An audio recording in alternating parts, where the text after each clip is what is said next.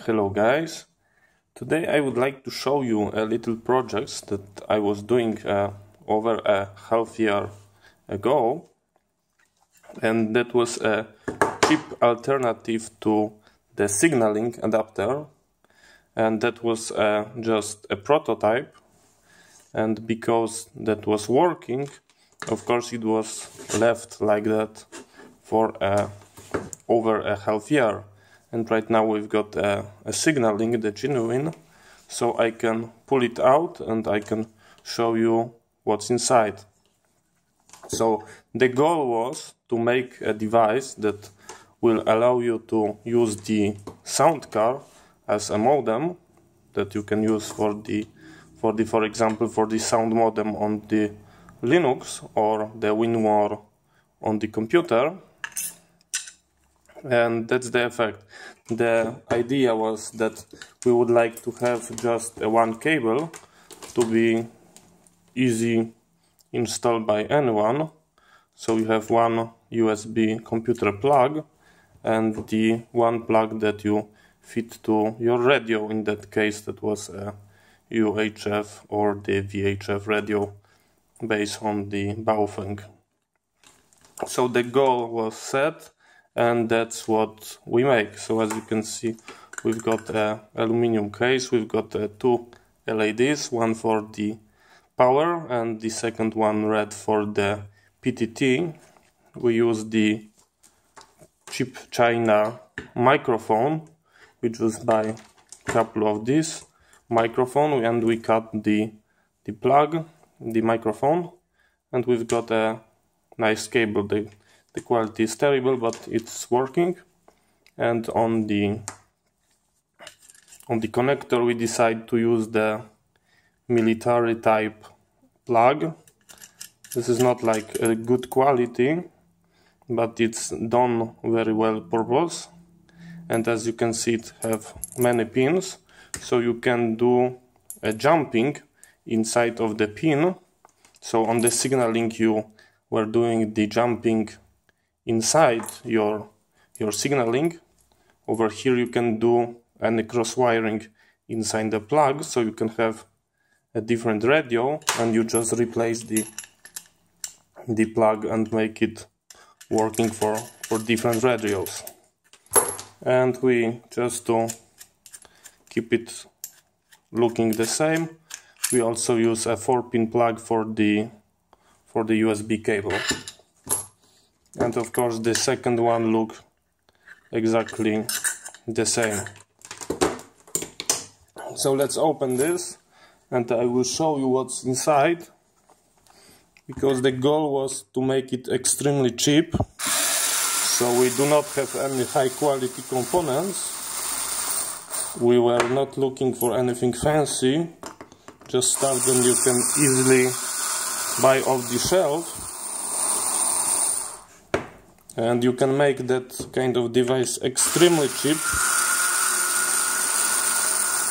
If you don't count the enclosure on the or the cables because that's thing that you might not want to use not want to pay I believe you can make it under ten dollars.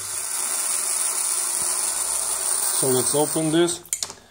Just like I said keep in mind that was a prototype this is not a finished unit, but because it was working, there was no need to do any any upgrade.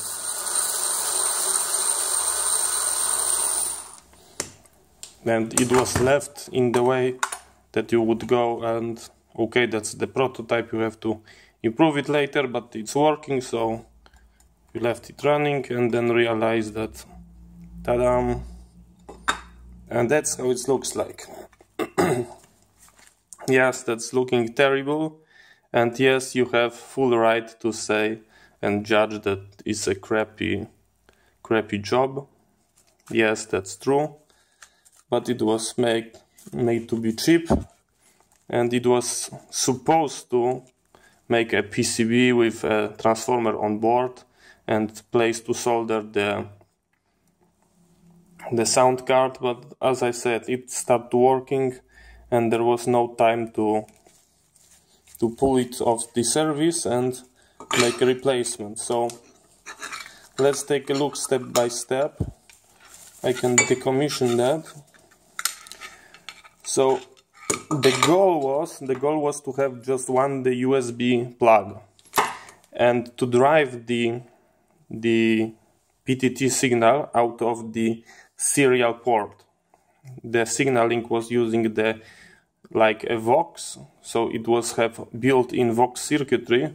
So depending on the input audio level, you were triggering the the you were triggering the PTT, and that have a couple of problems because you have to quite high signal at the input and if you not drive a high signal on the input the PTT won't be triggered and over here I can trigger the PTT while not having any signal going out so I can first trigger the PTT wait a couple of seconds and then start a signal that we would like to transmit so over here you, you don't need audio signal to start the PTT. That's the main difference and that's why we decided to go for the for that idea.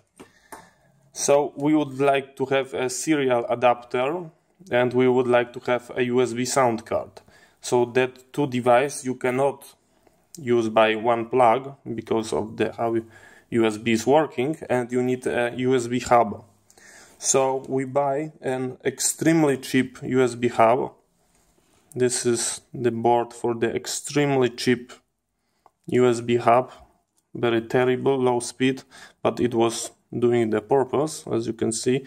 That was the funny, funny USB hub that have like four cables on the both sides and the plugs for the for the USB. So that was like like crappy, crappy cheap China under two dollars. We remove the case, we cut all the cables, and we just use two port of this USB hub. One of that USB hub is going to the sound card, also a very cheap generic dongle a like looking sound card. It was cost like one dollar. It's a terrible sound card in terms of the signal quality noise and all of that but for one dollar you can't go wrong and over here we've got an extremely cheap USB to serial adapter. And that was a built-in serial cable that have a DB9 plug on one end and on the other end you have the USB plug. So I unsolder the DB9 plug and just solder the four pins for the USB and I believe that was a data transmission ready pin use for triggering the LED and for triggering the PTT.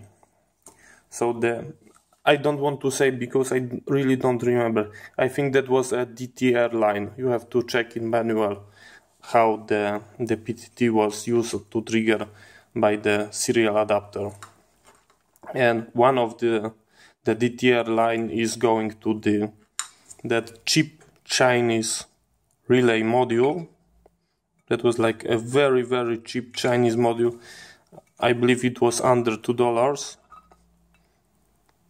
So I just feed the DTR directly to the the signal port on this module second one is 5 volt power still from the USB and over here from the coil from the relay I've got wires going to the diode for the PTT so when there is coil energized we've got an indication on the PTT so the transmission started so yes that's how it looks like. I'm going to unfold one of these. I was using the self-fusing tape because anyway I might use it for something else. And as I say we've got a proper SignaLink adapter because the goal was we were making that because not having enough money to buy a, a SignaLink because SignaLink is quite expensive and it's not expensive because of the component but because of that it's not that popular. There is not a very very large market on that. So the price is quite quite high and there is no room for the for the competition. So you can make device like that in your home just like I told you under under ten dollars and make it working and be and be happy. And if someone don't want to to make it then you can just go for the for the SignaLink. So there is not not room for for other companies for making this cheaper on a very small target market. That's what I think okay just let me as you can see that was a very very dirty blob cheap serial adapter let cut me a little bit. I as you can see that self-fusing tape is extremely good for things like that